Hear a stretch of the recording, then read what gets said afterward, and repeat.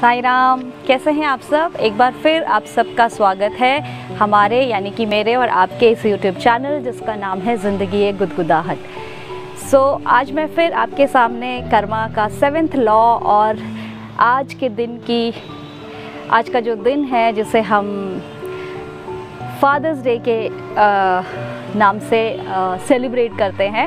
वैसे ये हम भारतीयों का सेलिब्रेशन का आ, जो एक ज़रिया नहीं है या हमारे अपने भारतीय कैलेंडर का हिस्सा नहीं है। बट मेरे हिसाब से, और मैं मानती हूँ कि भारतीय संस्कृति में माँ शब्द की व्याख्या, माँ शब्द का जो एक्सप्रेशन है, माँ शब्द की जो जो वज़न है या माँ शब्द के जो इमोशंस हैं वो कवियों ने रचनाकारों ने बहुत सारे शब्दों में बहुत सारे पोएम्स में बहुत सारी राइटिंग्स में उसको लिखा हुआ है और आप अगर गूगल भी करते हैं ना इफ़ यू जस्ट टाइप माँ सो इतना सारा आपको मटेरियल uh, दिखता है कि यू you नो know, आपको लगता है कि मतलब an number of feelings are there but same ऐसा ही मेरा ऐसा मानना है कि अगर आप पिता शब्द या पापा शब्द या डैड या कुछ भी अगर आप टाइप करते हैं सो इवन गूगल भी जो है आपको उस एज़ कंपेयर टू मदर उतना जो है आपको वैरायटी या कंटेंट या एक्सप्रेशंस या रिटर्न मटेरियल नहीं दे पाता है।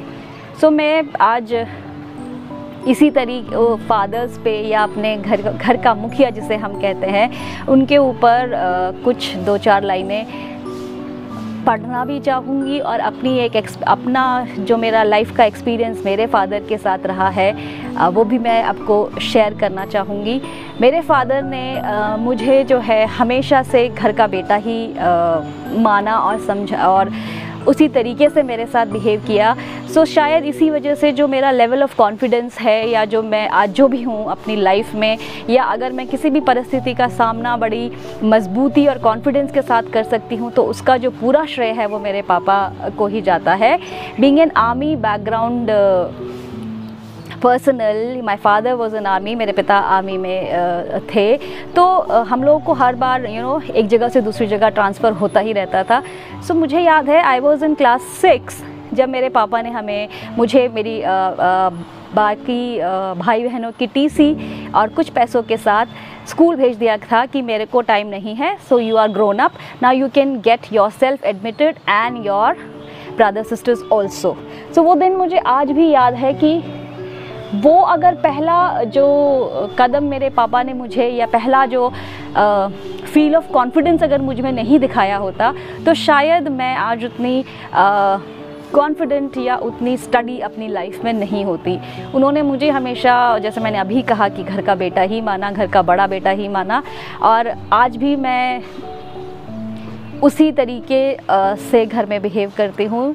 और मैं इस चीज़ के लिए यू you नो know, बहुत शुक्रगुज़ार हमेशा से अपने पापा की रहूँगी कि उन्होंने मुझमें वो जो कॉन्फिडेंस का बीज था ना वो बहुत अर्ली एज में ही बो दिया था।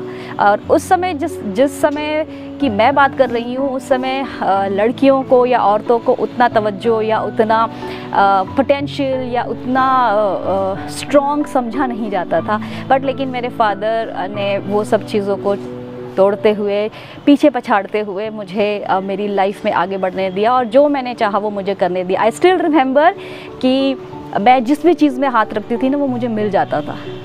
वो चाहे I I remember my father looking at his wallet and you know counting the money because I was asking for a bicycle when I was in class seventh और उस समय वो हीरो की जो lady I I don't remember the name of the bicycle जो uh, लड़कियों के लिए आती थी। That use to cost seven hundred something so मैंने रात को जैसे ऐसे ही कहा कि मेरे सब दोस्त जो हैं वो साइकिल में स्कूल जाते हैं।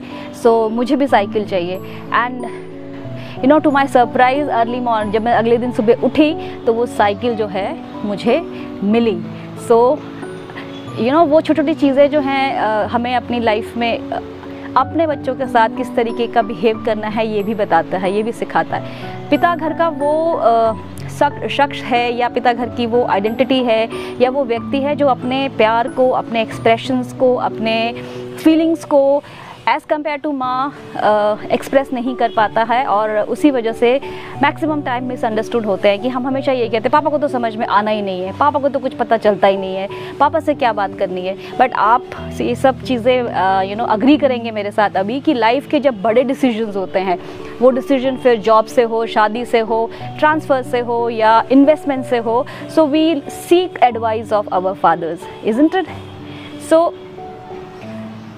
जो भी अभी ये चैनल देख रहा है, मैं उन सबको एक बार मेरे चैनल और मेरे परिवार की तरफ़ से हैप्पी फादर्स डे कहती हूँ और आप अपने परिवार में इसी तरह फलते फूलते रहिए, अपने बड़ों का सम्मान करिए, अपने पिता का सम्मान करिए और जिन बच्चों ने या जिन फैमिलीज़ ने अभी इस कोविड की महामारी के दौरान अपने पिता को खोया है, उन सब के साथ मेरी बहुत बहुत सहानुभूति है और मैं अब यही कहती हूँ कि जो गुज़र चुका है हम उसको बदल नहीं सकते।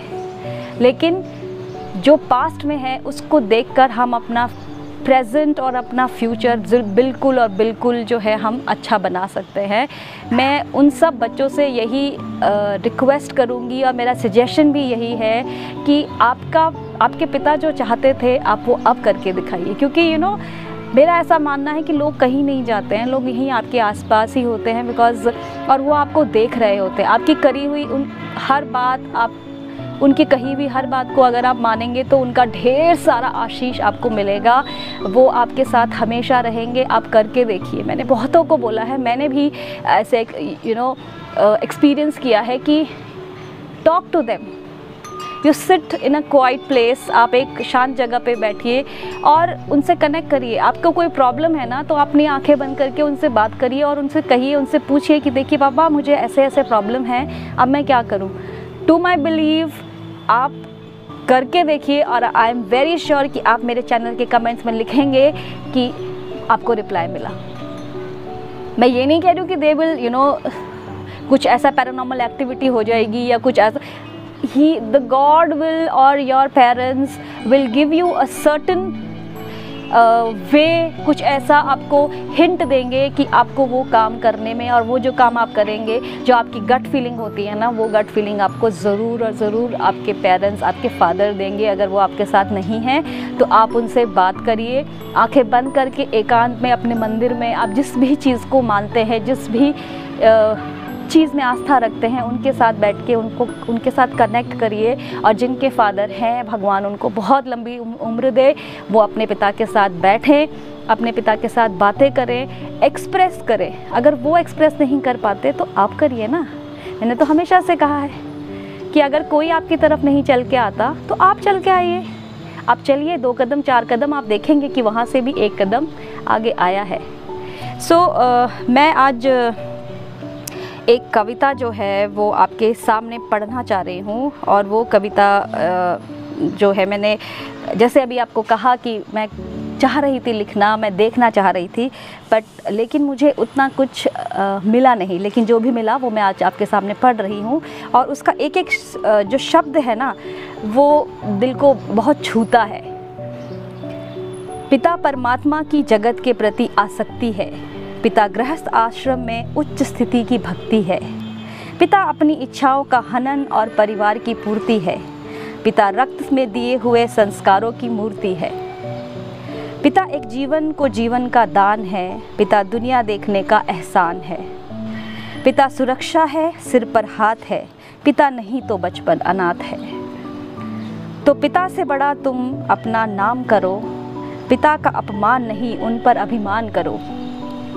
क्योंकि माँ बाप की कमी कोई पाट नहीं सकता और ईश्वर भी इनके आशीषों को काट नहीं सकता। विश्व में कभी भी देवता का स्थान दूजा है। माँ बाप की सेवा से ही सबसे बड़ी पूजा है।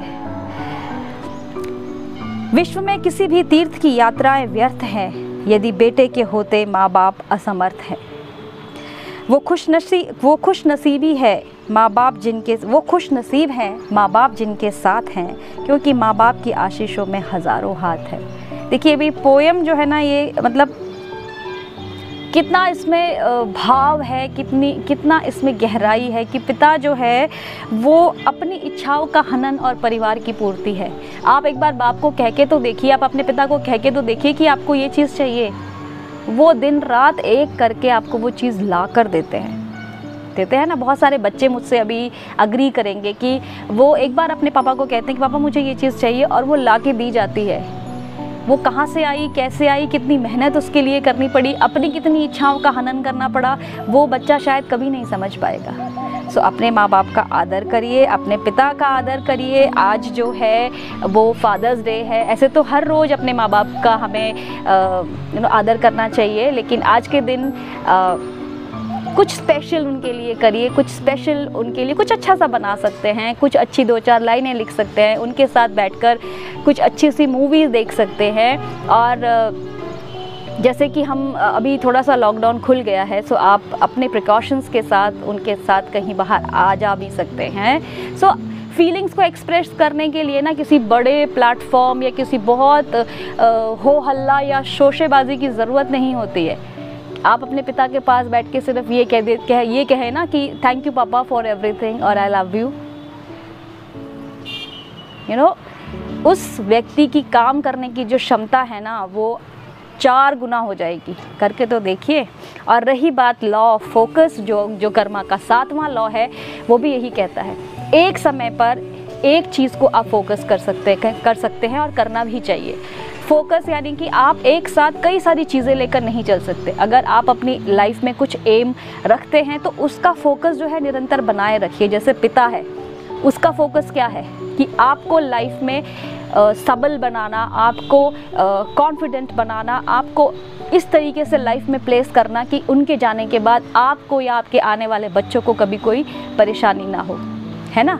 और उसके लिए हर पिता अमीर गरीब अपनी शक्ति अपने सामर्थ्य से दो गुना, चार गुना आपके साथ आपको दे कर जाता है। हम ये सब जानते हैं कि हम अपने साथ इस दुनिया से जाने के बाद कुछ नहीं लेके जाते। जो लेके जाते हैं वो है प्यार, सम्मान, यादें और अपनों का जो अभिमान होता है ना, जो अपनों की जो गर्दन या जो शरीर का जो ढांचा है, वो गर्व जो ये फुल ऑफ़ कॉन्फिडेंस से भर जाता है, वो ही हम अपने साथ लेके जाते हैं। वही लोग हमें उसके, हमारे जाने के बाद याद रखते हैं। लॉ ऑफ़ फोकस भी यही कहता है। आप एक समय पर दो चीज़ों के साथ फोकस नहीं कर सकते। जैसे कि फॉर एग्ज़ाम्पल अगर आप फोकस कर रहे हैं कि आपने स्पिरिचुअलिटी की तरफ़ जाना है या धार्मिक विचार रखने हैं या अपनी लाइफ को रिलीजियस या स्पिरिचुअल बनाना है तो उसी टाइम पे, उसी समय पर आप जेलसी की भावना, ईर्ष्या की भावना नहीं रख सकते। अगर आप करेंगे तो आपको जो है हंड्रेड परसेंट अचीवमेंट नहीं मिलेगी। सो so, ये जो लॉ फोकस है ये बच्चों के लिए भी बहुत मायने रखता है। आप अपनी लाइफ के किसी भी फ़ील्ड में हो फ़िलहाल आप चाहे बोर्ड के एग्ज़ाम्स की तैयारी कर रहे हैं या किसी कॉम्पिटिटिव एग्ज़ाम की तैयारी कर रहे हैं या लाइफ में कहीं सेटल होने की तैयारी कर रहे हैं सो so, आपका जो फोकस है आपकी जो जो दृष्टिकोण है जो आपका पाथ है ना वो उसके टूवर्ड्स बिल्कुल स्ट्रेट होना चाहिए। यहाँ वहाँ जो है आप अगर देखेंगे चलेंगे तो ना तो आपको आपका लक्ष्य मिलेगा और ना ही यहाँ वहाँ की अट्रैक्शंस जिसके प्रति आप अट्रैक्टेड हो रहे हैं, वो भी नहीं मिलेगा। सो लॉ फोकस यही है, अपनी पुरानी जो पीछे जो आपकी लाइफ है, उसको ध्यान में रखते हुए, उससे सीखते हुए अपने प्रेजेंट और अपने फ्यूचर को जो है सबल बनाना, उसको अच्छा प्रूव करना या अपनी गलतियों से सीखना फोकस ही है। फोकस रखना अपने पर फोकस रखना कि मैं क्या हूँ मैं कैसे कर रहा हूँ मेरी किस गलती से या मेरी किस अच्छी आदत से मेरा कितना अच्छा होता है या मेरे आसपास के लोगों को कितना अच्छा और कितना बुरा होता है अगर हम ये फोकस अपने पास रखेंगे सो हम अपनी लाइफ में hundred and hund hundred and hundred fifty two hundred percent ज़रूर और ज़रूर शक जो है हम सक्सीड होंगे। सो so, मैं चलते चलते फिर यही कह रही हूँ कि आप अपने पिता का फोकस देखिए और उसी फोकस को फॉलो करके अगर आप अपनी लाइफ बनाना चाहेंगे सो वो ज़रूर बनेगी। हर पिता अपने बच्चों को अपने से दो गुना चार गुना पाँच गुना दस गुना ऊँची सीढ़ियों पर देखना चाहता है। है ना? सो so, उसके लिए वो सिर्फ़ आप जी तोड़ मेहनत करता है। मानिए आप एक मज़दूर को काम करते हुए देखिए और एक ऑफ़िस में अगर even if your parents if your father is a CEO और और सामबड़ी यू नो सो देखिए वो किस तरीके से अपने अपने फ़ील्ड में अपने अपने वर्क के हिसाब से काम करते हैं, दिन रात काम करते हैं। सो उनके काम को सम्मान दीजिए, उनका सम्मान करिए, उनको प्रेम करिए और उनके साथ अपनी भावनाओं को व्यक्त करिए और उन्हें थैंक यू और लव यू बोलना ना भूलें। और आज का दिन उनके साथ बहुत खुशी के साथ मनाएँ। हर किसी को अप्रिसिएशन स्पेशल फील करना और करवाना बहुत अच्छा लगता है। कोई आपको जब स्पेशल फील कराता है ना तो बहुत अच्छा लगता है। तो वो आप आज अपने फादर के साथ, अपने पेरेंट्स के साथ ज़रूर करिए और इन्जॉय करिए अपना दिन और चलते चलते फिर वही बात मैं आपसे कह रही हूँ। खुश रहिए, मस्त रहिए, जैसे जी में आता है वैसे जिए और सिर्फ़ एक बात का ध्यान रखें कि आपके कारण किसी का दिल ना दुखे। साई राम